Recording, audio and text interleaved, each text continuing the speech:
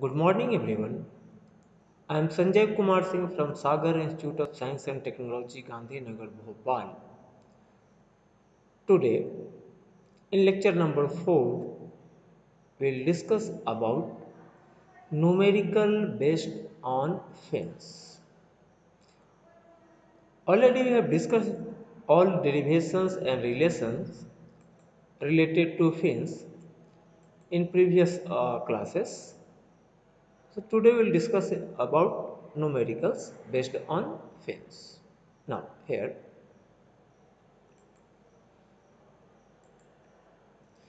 First question is estimate the energy input required to solder together two very long pieces. Two very long pieces. Here it is mentioned that pieces are very long. Very long here it is mentioned means we have to consider fin of infinite length. Already हम तीन case पढ़ चुके हैं कि fin of infinite length fin with insulated tip and fin losing heat through its tip तो यहाँ question में mention है कि very long pieces very long pieces is considered as fin of infinite length very long pieces of bare copper wire of 0.1625 centimeter in diameter with a solder that melts at 195 degrees Celsius. The wires are placed in air the, at 24 degrees Celsius and the heat transfer coefficient on the wire surface is seventeen is seventeen watt per metre square kelvin for the wire अलॉयटिक thermal conductivity 335 watt per metre kelvin यह question में दिया हुआ है।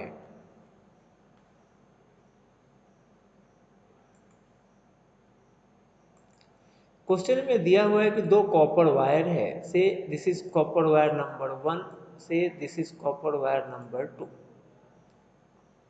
ये दोनों wire length जो है बोल रहा है कि वेरी लॉन्ग ये दोनों कॉपर वायर को जोड़ने के लिए सोल्डर किया जा रहा है, जहाँ रेड कलर में दिख रहा है। सोल्डर का टेम्परेचर है 195 डिग्री सेल्सियस सराउंडिंग एयर का टेम्परेचर है 25 डिग्री सेल्सियस तो हम जो फिन देखे थे कि ये फिन ये फिन है। फिन है। ये surface temperature that is surface temperature के लिए सिंबल हम यूज़ करते थे टी नॉट एयर टेम्परेचर के लिए टी ए तो यहाँ ये ये हो गया बेस जिसका temperature 195 degree Celsius surrounding air का टेम्परेचर 24 डिग्री सेल्सियस तो हमको निकालना है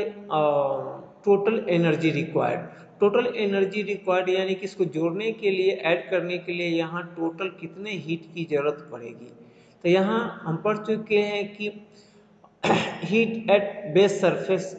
is Q is equal to तो infinite infinite fin of infinite length के केस में हम क्यू एट फिन सरफेस का फार्मूला हम डिराइव कर चुके हैं कि Q at fin is equal to root over H P K A T naught minus T A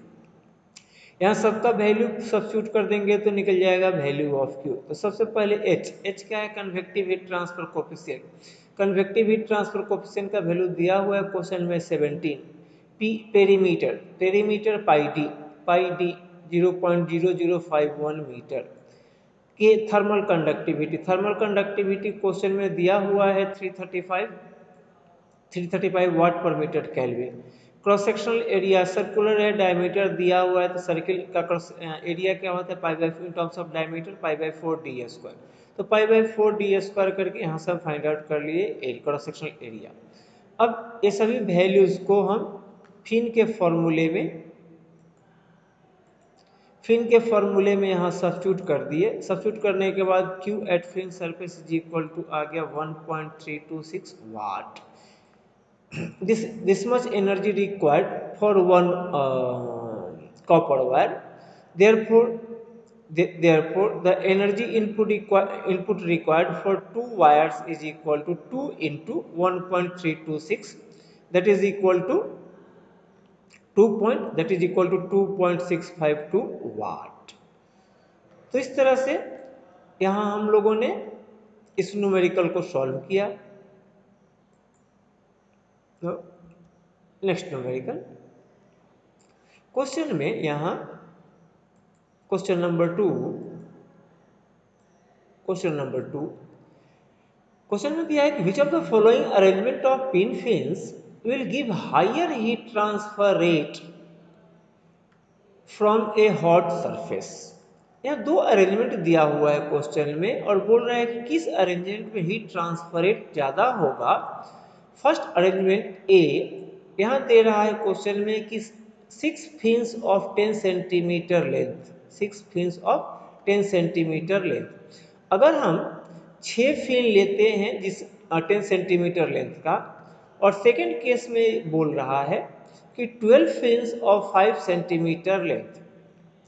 अगर, यहाँ क्वेश्चन में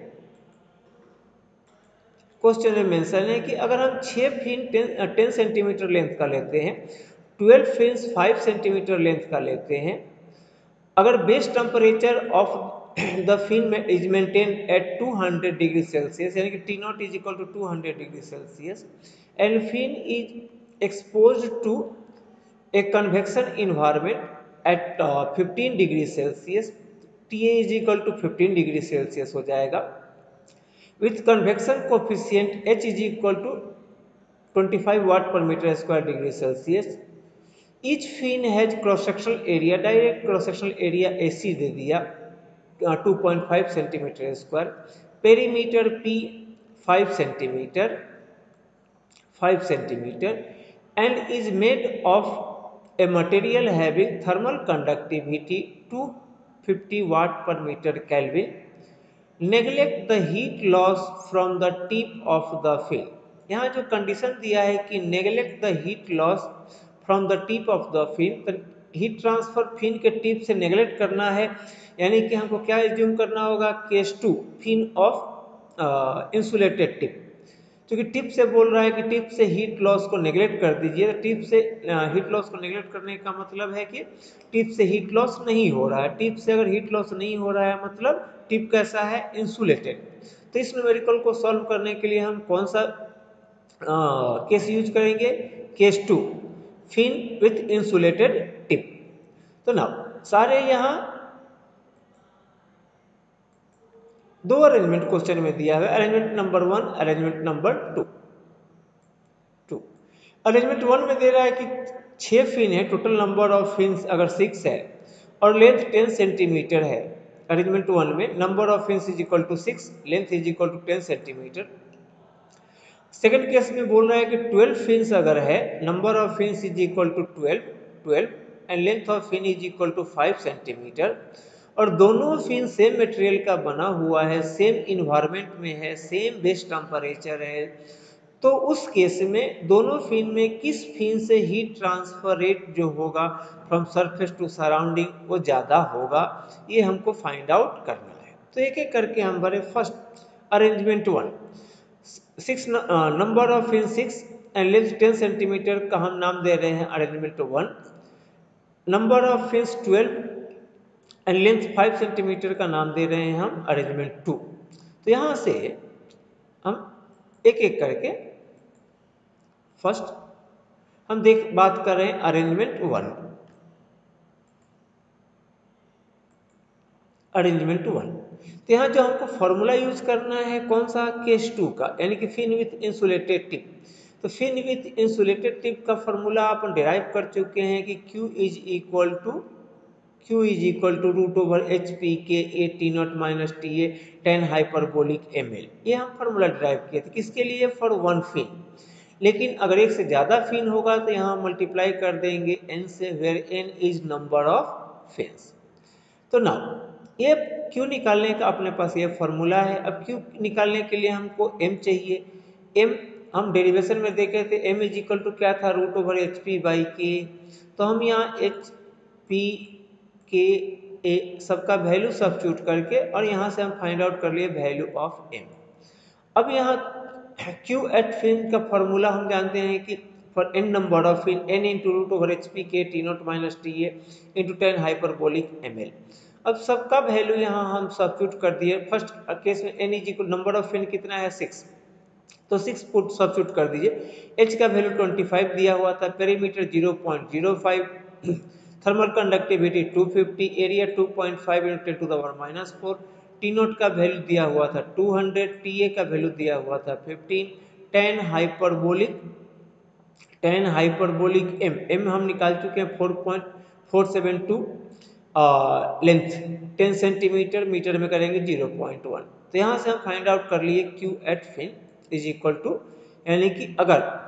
छः फिन टेन सेंटीमीटर लेंथ का हम यूज़ कर रहे हैं तो जो टोटल हीट ट्रांसफ़र हो रहा है दैट इज़ 130.18 वाट अब आते हैं अरेंजमेंट टू अरेंजमेंट टू में बोल रहा है कि 12 नंबर ऑफ़ फिन्स है और लेंथ 5 सेंटीमीटर है तो यहाँ से एम का वैल्यू ये एम का वैल्यू तो ही रह जाएगा क्योंकि एम एच पी के है लेंथ पे डिपेंड कर नहीं रहा है तो एम एज इट इज़ हो जाएगा। तो इस रिलेशन में N is equal to substitute कर देंगे 12 और L length is equal to substitute कर देंगे 0.05 तो या इस Q at fin is equal to N into root over H P K T naught minus T A tan hyperbolic M L सबका value substitute कर दिए तो यहाँ से टोटल जो हीट फ्लो रेट आया दैट इज़ 138.63 तो फ़र्स्ट केस में हम देखे थे कि 130.18 आया था सेकंड केस में 138.63 वाट आया था। यानी कि अरेंजमेंट टू से हीट से हीट ट्रांसफ़र रेट ज़्यादा होगा कंपेयर टू अरेंजमेंट वन तो यहाँ हम एक सेंटेंस मेंशन कर देंगे कि the arrangement two is to be preferred as it gives higher rate of heat transfer arrangement two जो है, ज़्यादा हीट ट्रांसफ़र कर रहा है कंपेयर टू अरेंजमेंट वन इसलिए अरेंजमेंट टू जो है वो बेटर है with respect to arrangement one now third question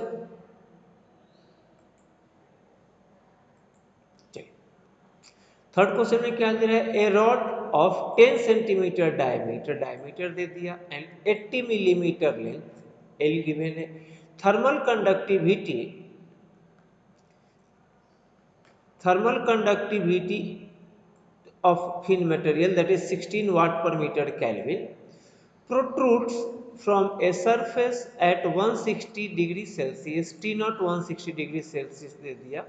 the rod is exposed to air at 30 degree Celsius TA is equal to 30 degree Celsius with a convection coefficient of 25 watt per meter square Kelvin यानी कि H हमको दे दिया अब question यहाँ है कि how does the heat flow from this rod get affected get affected affected if the same material volume if the same material volume is used for two fins of same length assume short fin with end insulated तो यहाँ सबसे जो first है कि हम Q निकालने के लिए कौन सा फॉर्मूला यूज़ करेंगे? Case one case two case three तो लास्ट में यहाँ सेंटेंस क्वेश्चन में मेंशन है कि assume short fin with end insulated यानी कि हमको केस टू अपने अकॉर्डिंग केस टू यानी कि फिन विथ इंसुलेटेड टिप का फॉर्मूला यूज़ करना होगा। तो फिन विथ इंसुलेटेड टिप का फॉर्मूला हम यूज़ करके यहाँ से क्यू का वैल्यू निकालेंगे। अब क्वेश्चन में जो दिया हुआ है क्वेश्चन में दे रहा है कि 10 सेंटीमीटर डायमीटर का 10 सेंटीमीटर डायमीटर का और 80 मिलीमीटर mm लेंथ का 80 मिलीमीटर mm लेंथ का एक फिन हम यूज़ कर रहे हैं जिसका थर्मल कंडक्टिविटी है 16 watt per metre kelvin and जो सरफेस का टेम्परेचर है, जो सरफेस का टेम्परेचर है दैट इज़ वन यहाँ का टेम्परेचर जो है that is 160 degree Celsius 160 degree Celsius surrounding जो एयर का टेम्परेचर है दैट इज़ 30 डिग्री सेल्सियस तो बोल रहा है कि अगर इसको, ये जो फीन है, इसको मेल्ट करके सेम लेंथ का सेम लेंथ का अगर दो फिन बना दिया जाए तो सेम लेंथ अगर लेंथ सेम है वॉल्यूम सेम है तो एरिया क्या हो जाएगा? कम हो जाएगा। यानी कि डायमीटर क्या हो जाएगा? कम हो जाएगा। तो इसको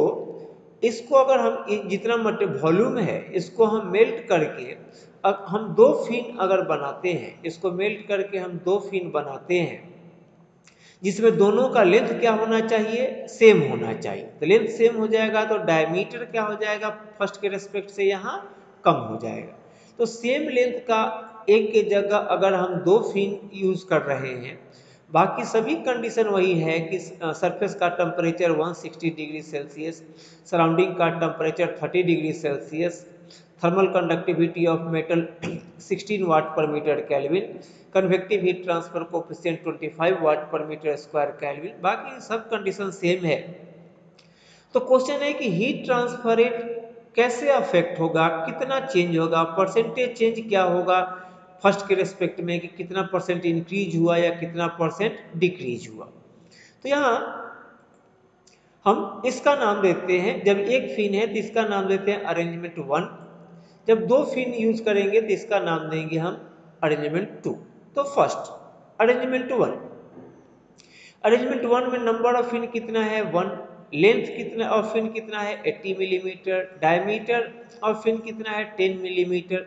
तो हम क्रॉस सेक्शनल एरिया निकाल लेंगे। एरिया क्या होता है? Pi by four D square perimeter find out कर लेंगे। Perimeter is equal to pi D pi पता है? डी पता है। The heat loss the heat loss from fin is given by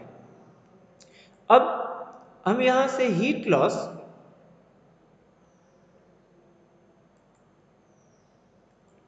अब यहाँ से हम हीट लॉस फाइंड आउट कर लेंगे तो हीट लॉस के लिए कौन सा फॉर्मूला हम यूज़ कर लेंगे? फिन ऑफ़ इंसुलेटेड टिप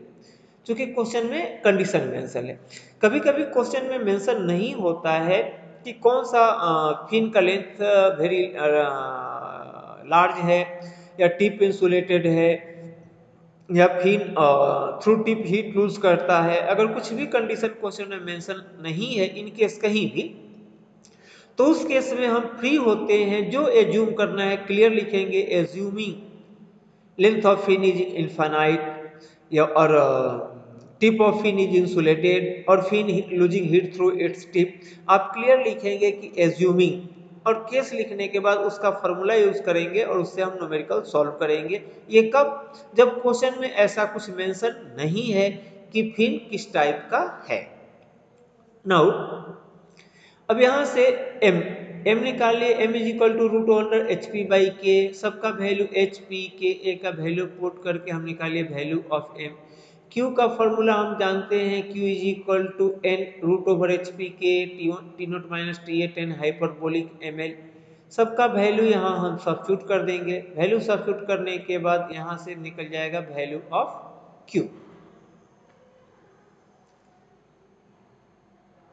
यहाँ से वैल्यू ऑफ़ क्यू निकल अब आते हैं हम अरेंजमेंट टू अरेंजमेंट टू में क्या है कि नंबर ऑफ़ फिंस कितने हैं? दो। लेंथ सेम है 80 centimetre thermal conductivity same 16 watt per metre kelvin convective heat transfer coefficient 25 watt per metre metre square kelvin ये सेम है। अब वो क्वेश्चन में बोल रहा है कि वॉल्यूम सेम है, और उसको हम उस सेम वॉल्यूम का दो 80 सेंटीमीटर लेंथ का दो फिन अगर हम बनाते हैं तो हीट ट्रांसफ़र कैसे चेंज होगा? Volume of arrangement one is equal to volume of arrangement two volume मतलब एरिया इंटू लेंथ तो area into length of arrangement one is equal to area into length of arrangement two यहाँ से हम second fin का जो dia होगा उसका value निकाल लिए अब सेकेंड अरेंजमेंट में डाया निकल गया तो डाया का हेल्प लेकर के पेरीमीटर निकाल लिए एंड डाया का हेल्प लेकर के हम क्रॉस सेक्शनल एरिया निकाल लिए। अब हम हीट फ्लो रेट निकालने जा रहे हैं। Now second case second case के लिए सेकेंड केस के लिए m इज़ इक्वल टू निकालिए H P by K perimeter पता है एरिया पता है के पता है, h एच पता है, सबका वैल्यू सब्सिट्यूट कर दिए, यहाँ से निकल गया m. Q at fin is equal to n into root over h p k, t naught minus T A into tan hyperbolic M यहाँ से सबका वैल्यू सब्सिट्यूट कर दिए सेकेंड केस में नंबर ऑफ़ फिन बोल रहा है कि दो है तो एन इज़ इक्वल टू हो गया टू यहाँ से हम फाइंड आउट कर लिए कि number of fin is equal to कितना आया? 4.770 वाट अब यहाँ सेकंड केस में जब दो फिन कर दिया गया तो हीट ट्रांसफ़र रेट हो जो है वाट के टर्म में 4.77 फ़र्स्ट केस में आया था, जब एक फिन था सेम वॉल्यूम का 3.935 तो यहाँ से नाउ दोनों हम हीट फ्लो रेट निकाल लिए थे now percentage increase in heat flow is equal to Q two minus Q one by Q one into one hundred percent Q2 Q1 का वैल्यू यहाँ हम सब्सिट्यूट कर दिए मल्टीप्लाई बाई 100 परसेंट तो यहाँ से जो percentage increase in heat transfer rate आया दैट इज़ 21.2 परसेंट यानी कि अरेंजमेंट टू सेम वॉल्यूम का अगर हम दो फिन बनाए सेम लेंथ का तो heat transfer rate 21.2 percent increase हो जाएगा। Now next question next question है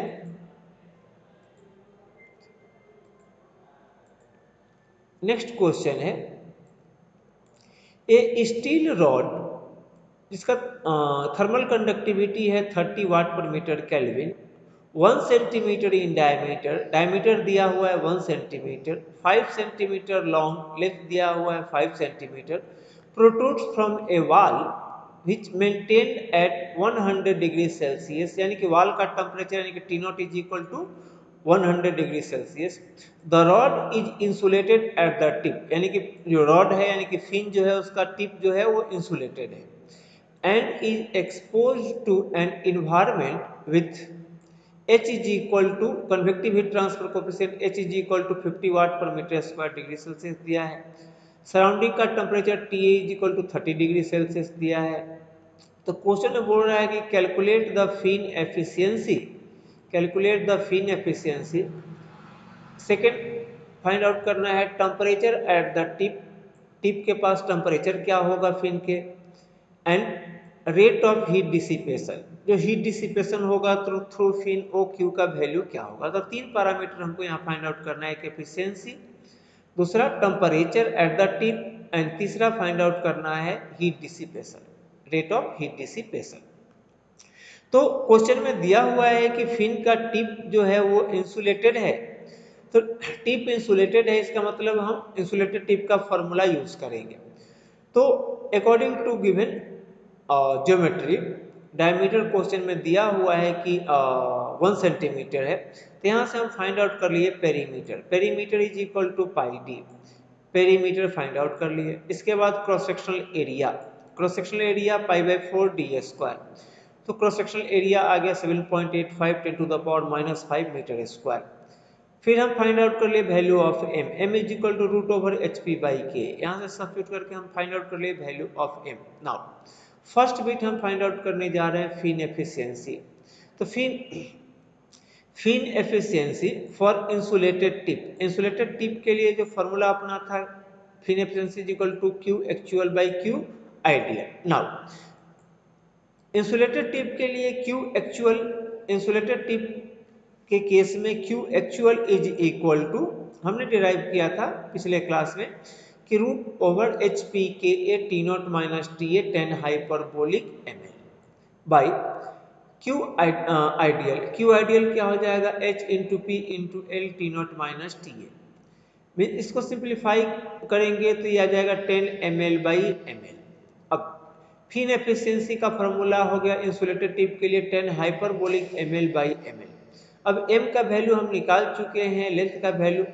लेंथ का वैल्यू हमको पता है तो एमएल का वैल्यू हम नोमरेटर डिनोमीटर में सब्सिट्यूट कर दिए। यहाँ से फिन एफिशिएंसी आ गया 66.57 नाउ सेकेंड बिट हमको फाइंड आउट करना था कि फिन के टिप के पास फिन के टिप के पास टेम्परेचर क्या होगा। तो एट फिन फिन के टिप के पास जो फिन का लेंथ होगा, वो क्या हो जाएगा? एल टोटल लेंथ तो ये फार्मूला हम लोग इंसुलेटेड टिप के लिए ड्राइव किए थे कि T minus T A by T naught minus T is equal to cos hyperbolic M L minus X by cos hyperbolic M L अब यहाँ हम x इज़ इक्वल टू इस फार्मूले में x is equal to L substitute करेंगे कर देंगे तो कहाँ पहुँच जाएँगे? एट द टिप तो इस फॉर्मूले में x is equal to L put कर दीजिए। X is equal to L put करेंगे तो l minus L cos hyperbolic M zero तो cos hyperbolic zero is equal to क्या होता है? वन तो इस सिंप्लीफाई होकर क्या हो जाएगा? Formula t minus T A by T naught minus T A is equal to one by cos hyperbolic M L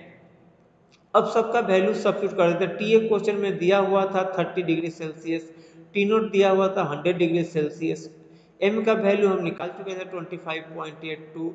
length 0.05 metre दिया हुआ था। तो यहाँ से हम फाइंड आउट कर लेंगे वैल्यू ऑफ़ टी यानी कि fin temperature at the tip is equal to 65.79 degree Celsius now last bit जो हमको फाइंड आउट करना है हीट फ्लो रेट तो for insulated tip for insulated tip हम फॉर्मूला जानते हैं Q is equal to N into root over H P K T naught minus T A into tan hyperbolic M L सबका value substitute कर दीजिए। यहाँ N number of fin is equal two question में क्या दिया है? One तो one हो गया। H fifty perimeter perimeter zero point zero three one four thermal conductivity 30 area cross sectional area 7.85 10 to the power minus five metre square और T naught hundred minus T A thirty ये ये is typing mistake T naught minus T A into ten hyperbolic M M twenty five point eight इसको हम solve कर लेंगे calculator operate करके तो यहाँ से हम निकाल लेंगे वैल्यू ऑफ़ क्यू तो Q is equal to three point six five eight watt तो ये था numerical based on fins next class में हम डिस्कस करेंगे और thermometric well and transient heat conduction it next class में हम डिस्कस करेंगे और यूनिट टू अपना कंप्लीट uh, हो जाएगा।